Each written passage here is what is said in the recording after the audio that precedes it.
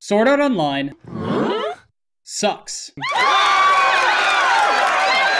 Thank you, thank you. Click here to subscribe, follow me on Twitter, leave a like, and name your firstborn daughter after me. By now, it's no secret that Sword Art Online is terrible. It is so terrible that the fact that the fact that it's terrible is a meme is a meme. And that's a real shame because Hunger Games Online with sword lasers is probably the best idea to come out of Japan since ritually cannibalizing their enemies is an intimidation tactic during World War II. Look it up. To those of you who were as disappointed as I was with Reki Kawahara's shitty writing, awful pacing, bland characterization, ignorance of basic game design principles, misogyny, lack of attention to detail, complete disregard for internal consistency.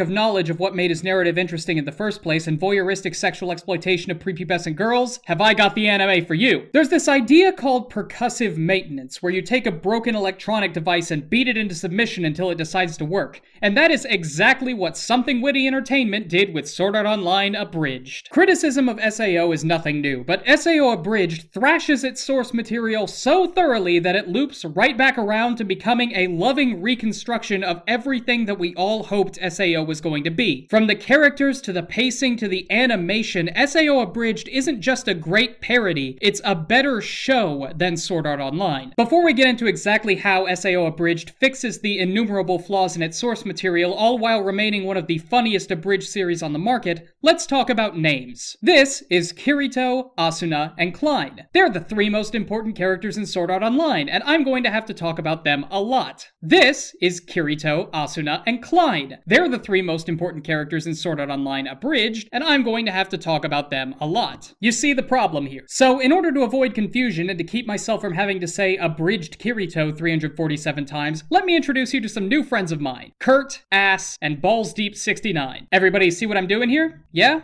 Okay? Okay, okay, okay. The most noteworthy and impactful change that SAO Abridged makes over the original is that people aren't stupid. So many of Sword Art Online's conflicts could be avoided if the people involved didn't have the mental capacities of a sleep-deprived cabbage. Take the moonlit black cats, for example. SAO attempts to justify Kirito's badass lonerness by implying that he feels responsible for what happened to the cats and doesn't want to join any other guild to keep people safe. This makes them incredibly important. Sure is a shame they have the collective IQ of a coffee table. Hey, we have some time to kill. How about we make some extra cash fighting death monsters in this death dungeon where we could die? Never mind that our guild leader is gone. We need chairs. Not to mention the whole reason they all get killed is because Mr. MLG Pro here finds a treasure chest in an empty room and opens it. And I feel like that's all that needs to be said to show that this guy is about as smart as Bakugo. God, what have I done? But the cats aren't off the hook. Let's talk about Kirito. Kirito hides his level from the Moonlit Black Cats because if they knew his real level, they wouldn't want him around. Why? Are you forgetting that this is a death game? Why would anybody not want to hang out with people who are good at the death game? Now, it's never explicitly stated why hanging out with someone at a much higher level than you is a liability because Sword Art Online because Sword Art Online. But as far as I can tell, Kirito being around makes higher level monsters spawn. And if that's the case, then Kirito knows that getting into a combat situation with the cats is a bad idea. So why did he say nothing when it was suggested that they go into the dungeon? If he knew that his very presence would cause Trogdor to come in and burninate all his friends, then congratulations, Kirito. You are so socially incompetent that you committed manslaughter bully for you. The actions of these characters are completely incongruous with a world in which people have both a fear of death and a basic knowledge of cause and effect. Which is why Sword Art Online Abridged completely rewrites this entire plotline. For starters, not only does Kurt not hide his level from Keita, Keita approaches him because he wants a higher level player in his guild, which, you know, makes sense. Why does Gary run right into the most obvious trap since this? Because he's an NPC set to auto loot. And why are they in the dungeon in the first place? For chairs? Nope, because they're in debt to the mob and have to find a replacement for the special item that Charisma Hat stole. This slash and burn approach to adaptation is what allows Something Witty Entertainment to take Sword Art Online from a barely coherent mess of broken dreams and lost potential and turn it into a series that isn't downright insulting to anybody who has a better critical eye than a trained eggplant. In addition to the obvious benefit of logic, these massive changes result in more complex and meaningful character development that happens in SAO proper, and not just among the main cast. Even the most minor of side characters are given unique personalities and quirks that tend to be entirely absent from the original series. This allows something witty to turn totally forgettable, generic, non-characters like this into real people with personalities that we actually care about. In SAO, Godfrey is- this guy's name is Godfrey, is a plot device whose only purpose in the narrative is to get Kirito and Kuradeel alone together and then get killed just so the viewer knows that this guy is crazy. In Abridged, he's Godfrey the role player, the quirky, endearing doof who badly quotes Shakespeare and really seems to be trying to make everyone around him happy. And when Kuradeel stabs him and he breaks character to start pleading for his life, that's a hilarious but still tragic moment that actually hits home and makes the viewer care about someone they didn't even remember after watching the original series. And then there's Sachi. In the original series, Sachi is a tool. Her entire purpose is to die and give Kirito a reason to be a strong, independent swordsman who don't need no guild. She has no outstanding character traits except for the ones that help her die sadder, and the effect that she has on Kirito is straightforward, linear, logically suspect, and poorly executed. In Abridged, she makes Kurt go through an entire emotional arc and back again, and the psychological scars that he suffers after her death stick with him long into the series' endgame and have a profound effect on everything he does. When Kirito talks with Sachi under the moping bridge, she tells him that she's afraid to die, which is reasonable, but also true of literally anybody else, and does nothing to endear us to her character any more than we're endeared to this guy. Kirito answers that he won't let her die, then she dies anyway, and he's sad. In the Abridged series, Sachi's impact is much deeper and more nuanced than it is in the original. When the whole guild gets wiped in the Abridged series, it's not because some inhumanly idiotic disgrace to the species falls for an obvious trap, it's because Sachi sets an NPC to auto-loot because she thinks it will save time. This is a multi-layered tragic moment that enhances our sympathy for two different characters. First of all, Sachi was terrified that she was going to be the one to get her friends killed, but instead of it being an accident caused by her bad connection, the deaths of her friends were entirely the result of an avoidable mistake that was completely under her control. This is undercut a little bit since her party in the Bridge series consists entirely of NPCs, but it's still way more impactful than I hid my level and now you're dead. Her effect on Kurt is significantly deeper as well. From the beginning of the Abridged series, Kurt has been a self-assured, overconfident dickbag with a superiority complex who sees the suffering of weaker players as a source of entertainment. He says he doesn't want to team up with other players because they're a bunch of mouth-breathing neckbeards, and Diabel praises him for being so wise when he goes on his rant about how lions don't concern themselves with the opinions of sheep, reinforcing that he is right to see the people around him as useless, inferior beings. When Sachi tells him that she's afraid her lag is going to get everyone she loves killed, Kurt is confronted with something that he can't find a way to mock, which makes him question his cocksure attitude for the first time in the series. The ensuing conversation makes Kurt see the error of his ways, and he resolves to stop being a sociopathic fuckmuncher and give people a shot. Sachi is Kurt's way of giving humanity a chance to prove its worth. He lets himself be vulnerable to one person, one time,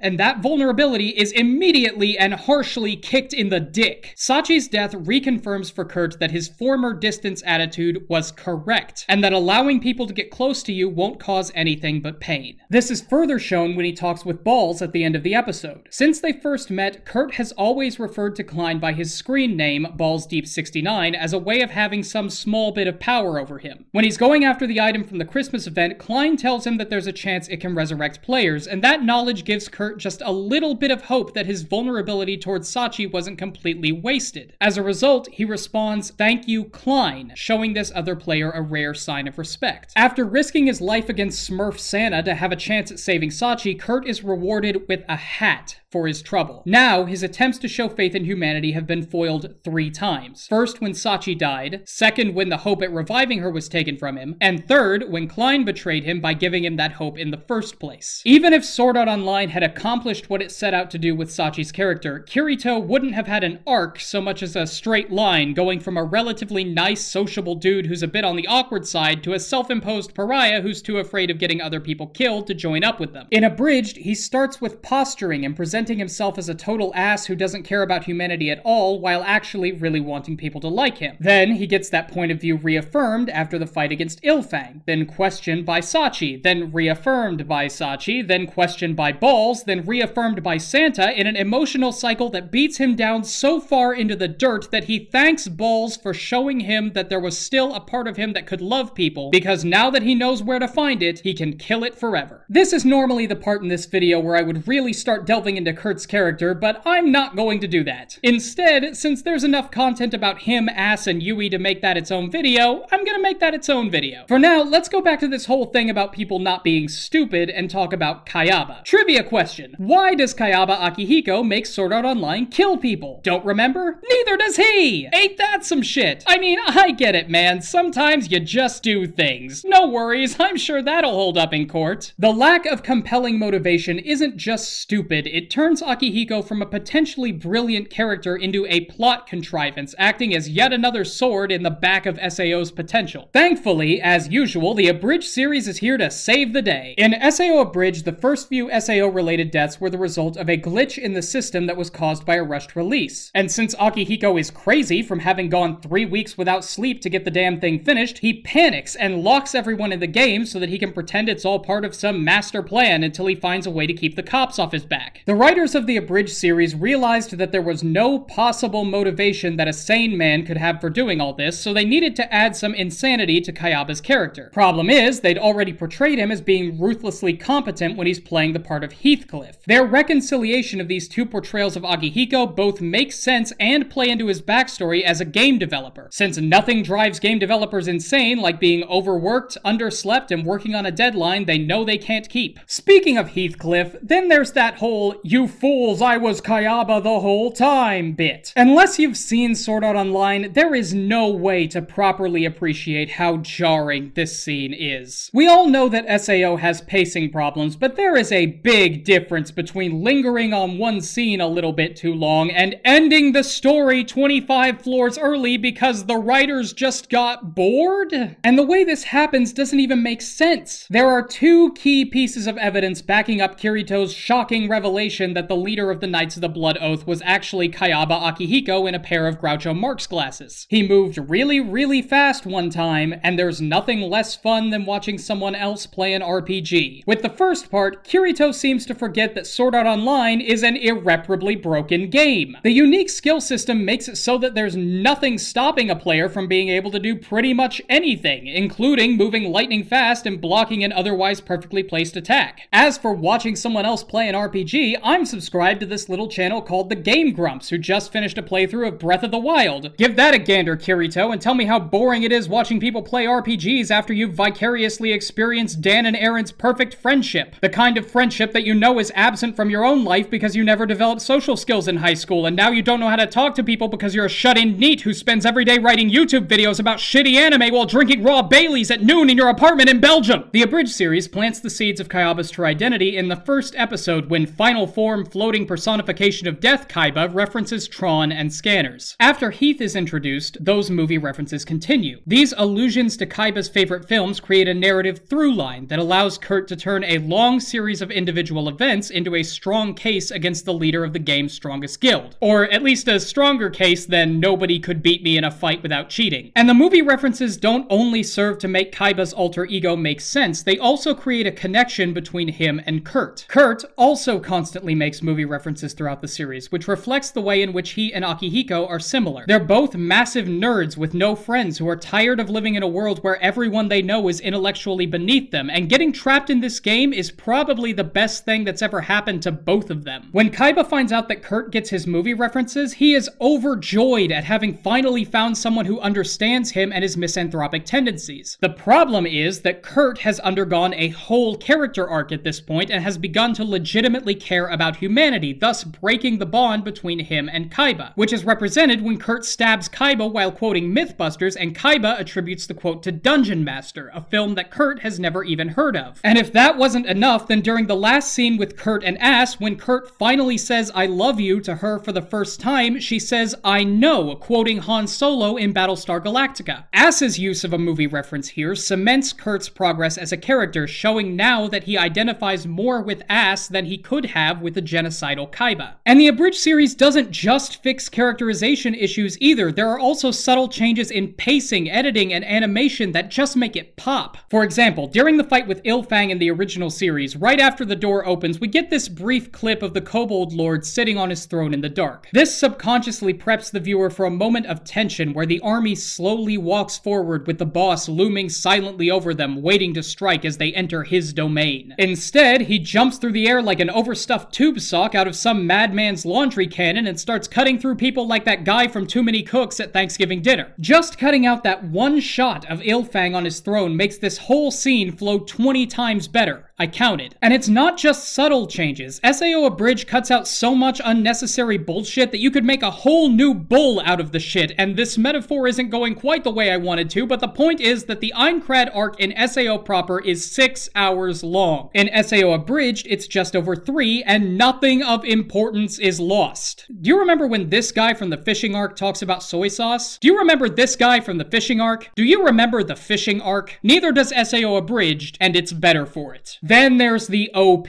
My god, does this series have a stellar OP.